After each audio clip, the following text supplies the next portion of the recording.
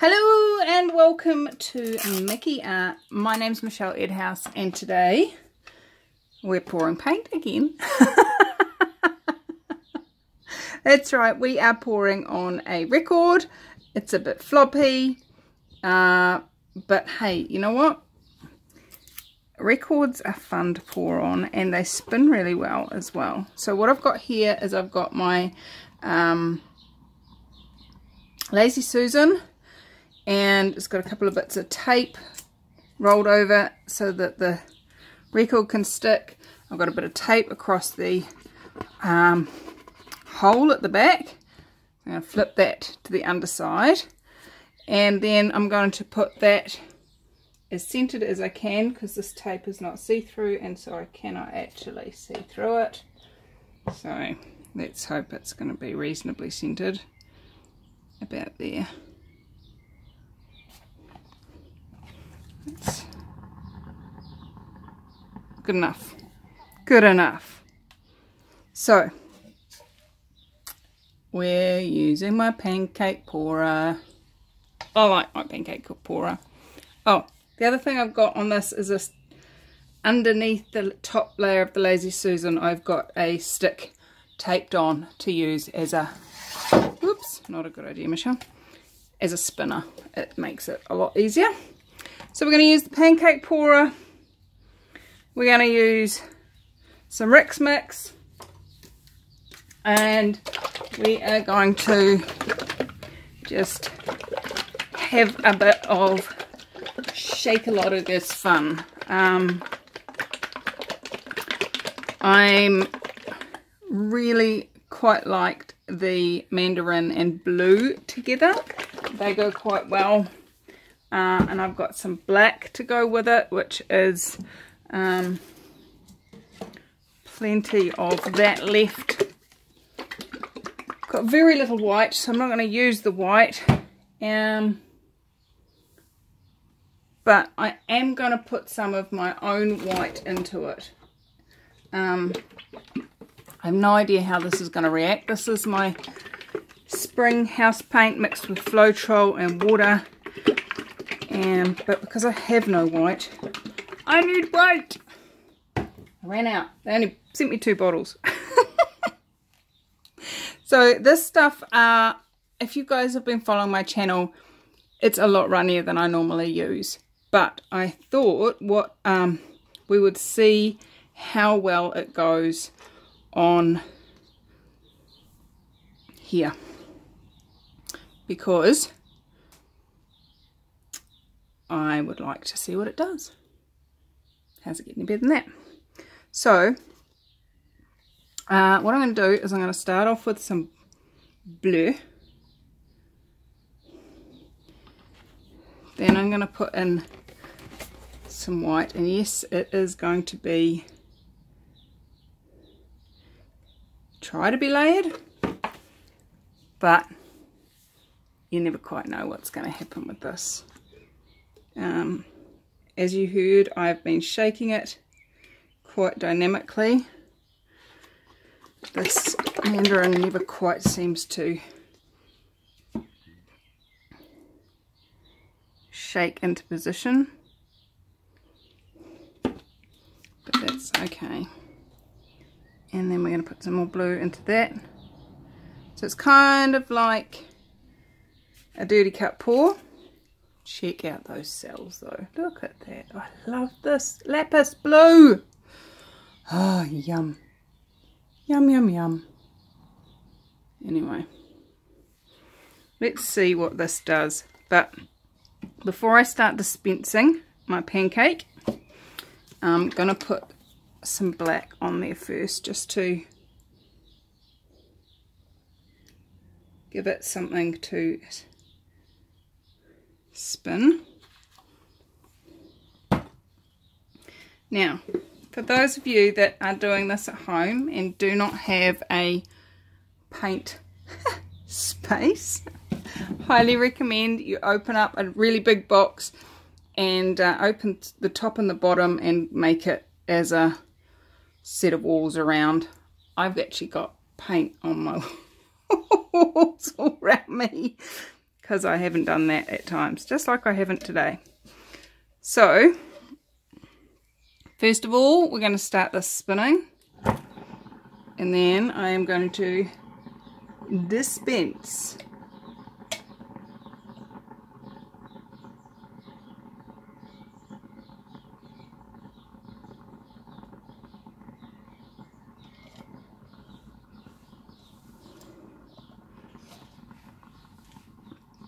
and let's just let that settle. Now the cool thing about this product is it doesn't require silicone to be added to get some funky cell action happening. It responds quite dynamically and let me zoom you in and show you what is going on. Look at that. It is doing its own thing immediately. You don't need a heat torch. You don't need anything like that at all. As I said, it's very runny. You do need to be very aware of your angles that you sit it on to dry. Uh, you need to be very aware of all of those sorts of things. Um, but I like it. I like what it's doing. We've got a little black edge around the outside. You can, I'll zoom back out a little bit for you. Oops, will let me. So we've got a little black edge around the outside, which is lovely. We've got some black bits coming through. But then we've got some amazing stuff happening in the middle with all that blue. I'm liking it. And it's just going to keep developing for quite a bit longer. Um, I am going to run the torch over it, not because it's um, going to create anything with regards to cells, because it doesn't. It doesn't do anything at all. But what it does do is pops any air bubbles and there was quite a few air bubbles both in the mandarin and in the white from shaking. So just gonna pop some of those. The torch is not, the flame is not touching the paint at all. It's just doing its thing. Wow. that is super cool. Let me zoom you in a little bit more if I can. Come on. Um, what's happening? Screen.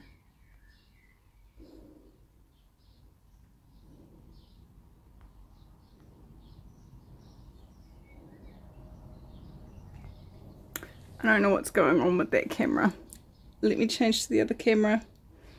It's not actually letting me do anything and I'm hoping it is still recording so that's a good thing.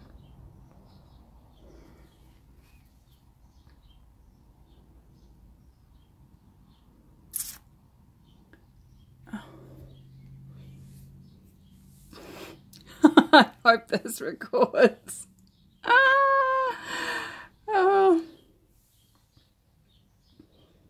Okay.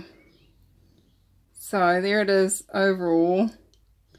And this is all the off run, which is actually quite funky too. I might have to get some samples and photos of that because that would make, wow, check that out. that's pretty. Wow. Okay, let's get in here. Look at these cells. This is so pretty.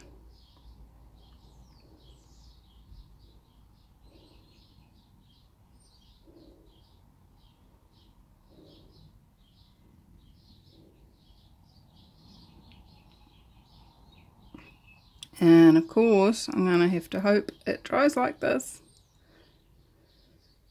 The joy of runny paint. You never quite know. So if you've been watching my channel for a while, I normally use Reeves Fine Artist Acrylic mixed with Floetrol and water.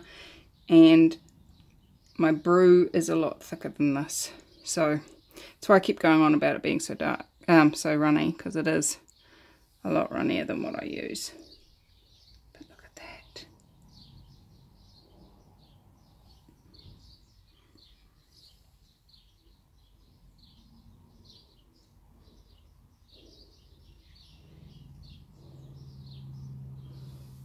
I like it. So I'm going to let it dry and we'll see what happens to the recording on the other camera. Hopefully it's all good. So I will be back to show you the dry result in three, two, one. Okay. So we definitely got some change.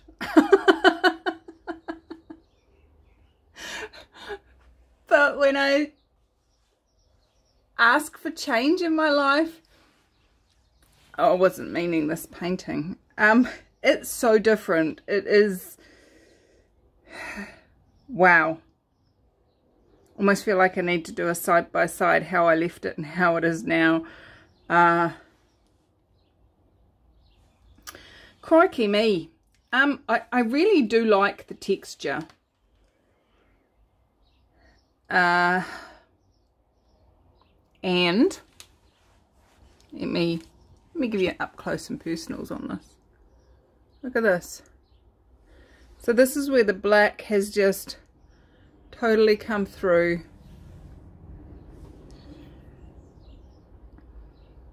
The question of course would be I, what would it be like if I hadn't put the black underneath? And this is the thing, guys. This is what I absolutely love about acrylic pouring. Doesn't that look like some sort of weird sunshine coming through some weird something? I'm not sure. It just looks weird. weird in a good way. Like, weird is not always a bad thing. Um, And the other thing that's interesting, and I'm wondering if it's because of I put the non-Rick's Mix white in, um, we've got some really interesting textures. Uh,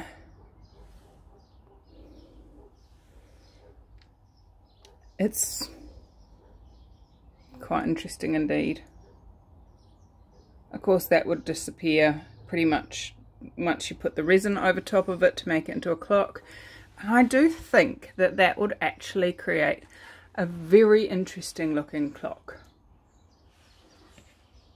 What do you reckon? Some black hands that go... What colour hands would you put on it? Let me know in the comments. and I, yeah, it's so different. It's so weird. It's so unusual. Alright. Let me show you what happened with the, the, the, the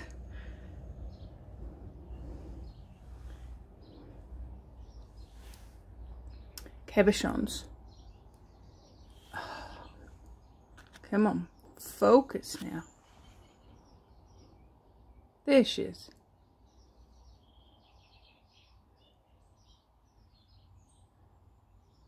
I really like that.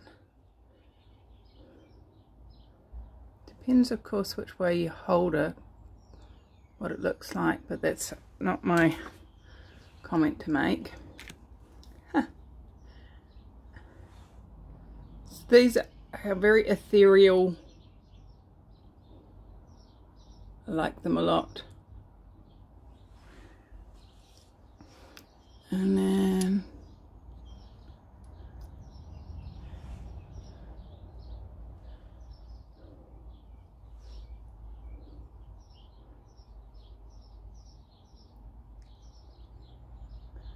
So I really like these.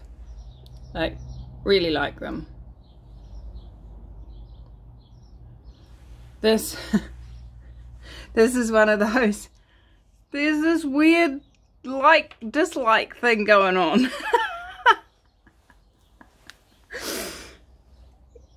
Let me know in the comments, did you prefer it before it dried or after it dried?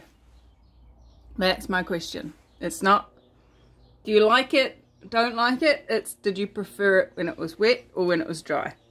That's what I'd like to know. Oh, noisy aeroplane. Alright guys, so there we go. That is my video for today. I have had a lot of fun with this. Um, and really like the outcome of the cabochons so I will be dipping those in some UV resin to set them to save them because the stuff comes off glass really easy so I'm going to turn them back over before they stick and um, I have another painting coming for you that I did straight after this one and you'll see that in the next video but just um, so grateful to all of you. So grateful to all of you that sponsor me on Patreon. So grateful to those of you that use the Amazon links when you're buying your cat food or your kids' toys. Um, so grateful to all of you that just let the ads run while you go and make a cup of tea so that uh, I get my six cents per ad that you watch. Um, I'm, I'm, I'm grateful to all of you that like and comment. Um, those of you that are subscribed, that all, all of that helps the the channel grow and more people see the videos and um, I really enjoy creating these videos for you guys. Um, I know I'm not doing it as much as I was. I'm very busy at work at the moment and um, what else is possible? How much more fun can we have? I adore you guys. Have fun and I will see you in another video. Bye!